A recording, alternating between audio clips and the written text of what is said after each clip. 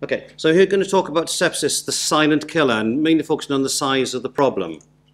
Okay, so I always like to compare sepsis statistics to cancer because everybody knows about cancer. You've either had a family member or a friend, or you know, at least somebody that you know that has had cancer. And obviously, cancer, you know, rightly regarded as, as a major killer. So in 2014, which is the most recently available cancer statistics, there were nearly 36,000 deaths from lung cancer. There were over 11,000 deaths from breast cancer, nearly 16,000 deaths from bowel cancer, and over 11,000 deaths from prostate cancer. And those are big numbers. Well, what I'm going to tell you is that sepsis, it kills people and it maims the survivors. For any football fans amongst you, this is a photograph of a Villa Park uh, Stadium, which is the home of Aston Villa FC in the middle of Birmingham. It holds nearly 43,000 people. Well, you could actually fill this stadium and have people spilling out onto the street with the number of people that die from sepsis in the UK every year. So to put that into context, that's more than the number of people that die from lung cancer, and it's more than the number of people that die from breast, bowel, and prostate cancers combined. In that figure, we have 1,000 children that die from sepsis each year, and worldwide it's the leading cause of deaths for the under fives. Now, the big issue with this is actually a lot of these deaths are avoidable. A lot of the harm that results from sepsis, it's avoidable. So many people who have sepsis may well have some other health problems that mean that sepsis may well be you know, a natural uh, end-of-life path for them. But there are young, fit, healthy people who die from sepsis who really should not die. We are talking a figure of around about 14,000 avoidable deaths across the UK, and that's just not good enough. Okay, and even if you do survive, survivors are left with medium to long-term health problems, which affects probably at least 20% of those who survive it. And we sometimes call it post-sepsis syndrome. Okay, now, this figure of 44,000, I would say that is at least, because we can't be convinced that clinical coding is picking up all the sepsis cases. Okay? And indeed, there are some suggestions that the true figure may be closer to 60,000 deaths. And that's horrendous. Okay? We are awaiting the publication of updated figures, but that's sort of stalled at the minute. Continuing on the sporting theme, just down the road from us is the Principality Stadium, the good old Millennium Stadium, and it holds 74,500 people. Now, in 2016, we would have said that there were 150,000 deaths from uh, cases of sepsis in the UK each year. So you could fill the Principality Stadium twice over and have people spilling out onto the street with a number of sepsis cases. Okay? And it affects people of all ages. there are 10,000 cases of sepsis in children, and it is a major direct cause of maternal death. And to add to that, the incidence of sepsis, it's increasing across the developed world by between 8 and 13% per annum. Now, the latest figure suggests that that 150,000 figure is a significant underestimate. So this report by the Whitewater Charitable Trust was published in February this year by the York Health Economics Consortium. They now estimate that the true figure for the number of sepsis cases across the UK every year is 260,000 cases. Okay, and as you can imagine, not just thinking about the personal cost to people, but the economic cost to the country, it's enormous. And they looked at this and found if you simply looked at the costs to the NHS of sepsis care, we're talking between one and a half and two billion pounds. That's just the cost of the NHS. Cost to the, to the country as a whole, somewhere between 11 and 15.6 billion pounds. To put that into a Welsh context, we're probably talking 12,500 cases of sepsis, And again, depending on what mortality figures we look at, it could be 2,100 deaths or maybe higher, 2,850. Um, so we're talking a co direct cost to NHS Wales between 53 and 94 million pounds. And the cost to the Welsh economy of you know over 500 million pound, could be over 700 million pound. So those are large sums of money, and yet better sepsis care could save the Welsh economy 126 million pound as a bare minimum. So I mentioned post-sepsis syndrome, sepsis survival, affecting you know, a large number of survivors. And there's a wide range of physical problems and psychological problems. They are at risk of recurring infections and further episodes of sepsis. Now, of course, some of these problems do overlap with their ICU morbidities, but given that sepsis is one of the major reasons for people to end up in ICU, that's not surprising. Wide range of physical problems, lethargy, poor mobility, breathlessness, hair loss, taste changes, changes in sensation, etc. And then the psychological problems can be quite devastating too. Anxiety, depression, flashbacks, nightmares, post-traumatic stress disorder. And one of the things a lot of sepsis survivors will complain about is their inability to concentrate. You know, whereas before they could concentrate on tasks for, you know, hours on end, they now find their attention span is very, very short. They simply can't concentrate any longer. Now, we talked a lot about figures, but what we haven't said is what is sepsis? Okay, well, so basic problem is you can't measure what sepsis is without defining it, and therefore you can't know whether what we're doing in terms of trying to improve the care and looking at the outcomes is improving without measuring it. Therefore, we need a definition. So I qualified in 1985. We did not have a sepsis definition. We did not have a sepsis definition until 1992, when the first sepsis definition, now called sepsis 1.0, or otherwise known the bone criteria, were published. And they talk about systemic inflammatory response syndrome, something that we've sort of grown up with over you know, the years since, since then. And it talks about the combination of SIRS plus infection equaling sepsis, and then severe sepsis and septic shock.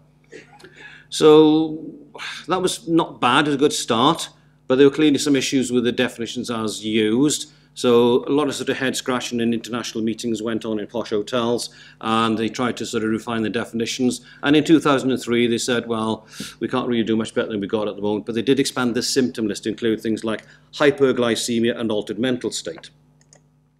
But of course the problem with SIRS, uh, so we've known this all the time, is that SIRS is one is an appropriate you know, response to an infection, so is it an appropriate response to anything else that causes inflammation, such as trauma or various autoimmune diseases. So on that basis, it's you know certainly not be all and end all of sepsis. And indeed, some surveys suggested that many as one in eight patients in intensive care units with infection-related organ failures, which we would call clinically sepsis, would not fulfill those criteria of having two or more sepsis cri uh, SIRS criteria. So we know that SIRS is wrong. Okay, so after a long period of discussion and heated debates, in February last year, they published the third international consensus definitions for sepsis. Okay, and they said that sepsis is defined as a life-threatening organ dysfunction caused by a dysregulated host response to infection. So that's quite a key phrase in the definition. So it's talking about the body's response to infection and it being dysregulated. So this is something which is not normal. And in lay terms, sepsis is a life-threatening condition that arises when the body's response to infection injures its own tissues and organs. And I think that's a very good way of you know, saying what sepsis is. So this is infection that's life-threatening and you're injuring your own tissues and organs. They then went on to say that septic shock is a subset of sepsis in which the underlying circulatory and cellular or metabolic abnormalities are profound enough to substantially increase mortality. And that could be you could operationalize the definition of sepsis by saying that uh, an increase in something called the sequential or sepsis-related organ failure assessment, or SOFA for short, score of two or more points, is associated with the in-hospital mortality greater than 10%. Okay, so sepsis kills. And they then wanted to say that septic shock can be identified as clinical construct of sepsis with persisting hypotension requiring vasopressors to maintain a mean arterial pressure of 65 millimeters or more and having a serum lactate of more than 2 millimole per litre despite adequate fluid volume resuscitation. And with these criteria, hospital mortality is in excess of 40%. So we are talking a major killer here. Okay, so sepsis alone, 10%, septic shock, 40%. So, what's changed in these definitions? Well, I said one of the first things is that SIRS has been removed from the definitions, so we can say it's, it's out. And they've taken away this term severe sepsis, which, quite frankly, wasn't that helpful. And they tried to, they tried to introduce a concept called Q-SOFA. And I think it's probably fair to say the jury is still out with regard to Q-SOFA. Okay, so SOFA is a system of categorizing severity of illness in patients in intensive care based on organ dysfunctions. Okay, and so I'll show you a slide in a second that shows how complex that is. Uh, the uh, people who devised the third sepsis definitions then tried to distill out from large electronic databases what were the sort of key factors that might tell you that somebody has sepsis. And so they came up with this concept called Q-SOFA, where they looked at you know, a low blood pressure, a high respiratory rate, and altered mental state, and said if you have two or three of these criteria, then it may well be that you've got sepsis. So this is SOFA, and I see it's an enormously complicated um, tool to use. You need a lot of laboratory information, lots of calculations, and realistically, the chances of making this sort of calculation at 2 o'clock in the afternoon, let, let alone 2 o'clock in the morning, it's about zero, okay, when a patient ill in front of you. Okay, so, you know, but we can use it to look back at what's happened to patients and say, well, yeah, they did have these organ failures and they had an infection, therefore they had sepsis. Okay, so what about Q-SOFA? Is it actually useful? Does it work? So this is the Q-SOFA. Some of you might recognize some people on here. Um, but the problem with Q-SOFA is got, we're talking about these physiological abnormalities which could occur in other situations. It's actually not that specific in terms of an individual abnormality. So what else could we do? Well, across Wales, we are lucky in that every acute hospital uses the National Early Warning Score. Okay, and you can actually calculate the equivalent news to a Q-SOFA score. Okay, and indeed a Q-SOFA of two or more will be a minimum news score of three, uh, four, sorry.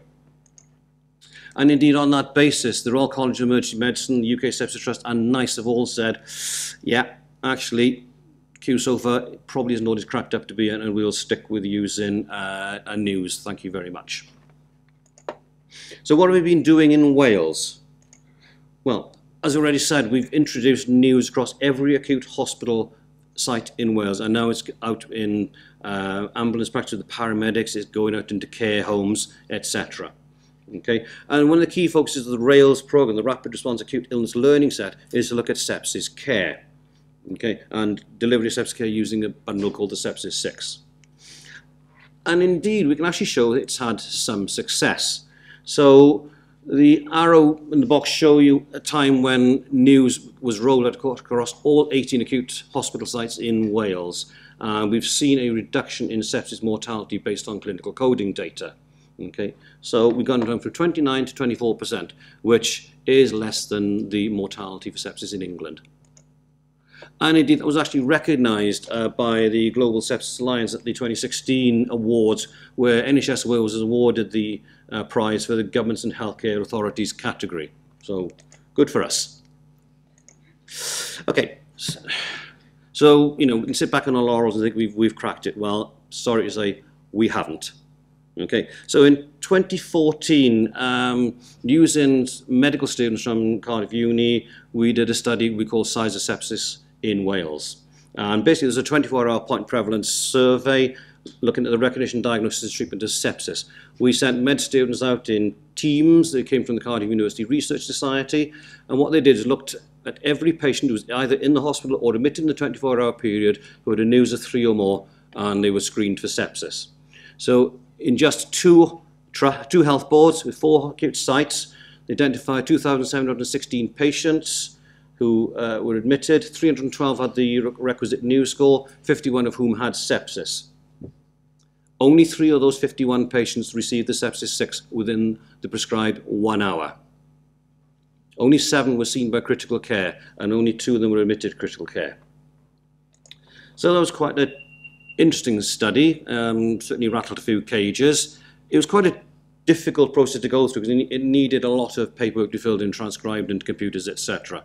So some of the students who were involved in the process, uh, very two very bright guys, uh, devised a digital process to collect the data. Uh, and we call this the Welsh Digital Data Collection Platform. and this enables, you know, secure data entry with some uh, help for them based based on access to things like uh, the British National Formulary, etc. And it runs on a very cheap Android tablet. So that was published in uh, 2016, and that enabled us to conduct the size of sepsis in Wales Part 2. So this was the middle of June 2015 now. So we sent out 184 medical students across Wales okay, to collect data, identified over 5,300 patients admitted in that 24-hour period that were in. 146 had sepsis and 144 had severe sepsis using the older definitions. Okay, so we're talking a combined prevalence of 5.5% across NHS Wales.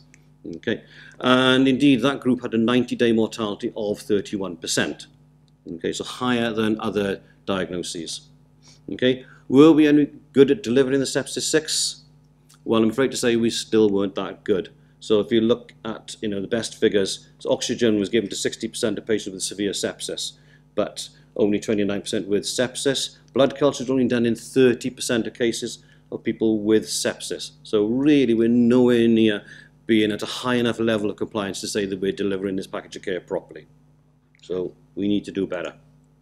And indeed, if you look at the delivery of the sepsis 6, in the sepsis category, only 3% of patients, and in the severe sepsis category, only 4, 9% of patients fulfilled the definition of having the sepsis 6 delivered within one hour. Screen tool completion, 10 and 16% respectively. So really not that good. Okay, so we need to move on, and obviously these new definitions are coming in. So in October last year, we conducted uh, a study we called Defining Sepsis in the Wards, or we may call it of Sepsis Part 3, if you like. Okay, and part, part of the aim of this was to compare old versus new definitions, and then to look at the utility of the various scoring systems that we could potentially use for identifying sepsis. Again, same at-risk population, news of three or more with documented clinical suspicion of infection. We identified 380 patients who fulfilled the criteria. Okay, if we'd used sepsis 1, we'd only picked up 212. If we'd used sepsis 3, we'd picked up some more, 272. But if we'd used Q-SOFA to screen them, we would only picked up 50 patients. So I think Q-SOFA is probably not that great. 85 patients were admitted to either to intensive care and or they died, because 22% of the patients. Will we any good at delivering the sepsis 6 care bundle? Well, sorry, we're still not that good. You know, 13% of patients receiving the sepsis 6, depending on your definition, whole cohort, 11.6%. So there's a lot of work still needs to be done in recognizing and delivering timely sepsis care. But on the other hand, we've seen this drop in mortality. So, you know, what can we say? You know, it's good, but it's not right. Okay, we must do better. So what about our scoring system? So obviously we've seen on quite a small subset of patients the um, utility or otherwise of uh, news and Q-SOFA. Uh, a large study from the University of Illinois was published in uh, April this year, and they've got a huge database of elect electronic observations recorded for several years. So they identified nearly 31,000 patients on their database who they had full data for, and what they found was that while SIRS had a high sensitivity, it was poor specificity. Q-SOFA was highly specific for sepsis, but had a very poor sensitivity. It would have led to delay in treatment for many hours, if at all. Okay, and indeed, news appears to be the best compromise. So this is a plot of sort of uh, uh, areas under the curve, receiver operating characteristics, if you like, and indeed both in the emergency department and in the wards, news seemed to be the best performer of the systems they looked at. So, sepsis, treatment, time is tissue. Now, we've known for several years and practiced for several years, you know, rapid delivery treatment for acute myocardial infarction with thrombolysis. We've talked about improving door to needle times and now door to PCI times. The same urgency care needs to be applied to sepsis. In May this year, uh, New York State's Department of Health published the results of a study that they conducted New York have changed their sepsis care process in the last few years following the Rory Staunton case. Uh, with now mandate that they will deliver sepsis care in a timely manner within six hours of emergency department presentation using the care bundle from the Surviving Sepsis campaign. So their target is slightly softer than the sepsis because they talk about a three-hour bundle rather than a one-hour bundle. Okay, so they looked at the mortality rates accordingly. They identified over 49,000 patients who presented to the hospitals, of which nearly 41,000 or over 82% had their three-hour care bundle delivered within that three-hour time frame. So it is possible to deliver better care more quickly.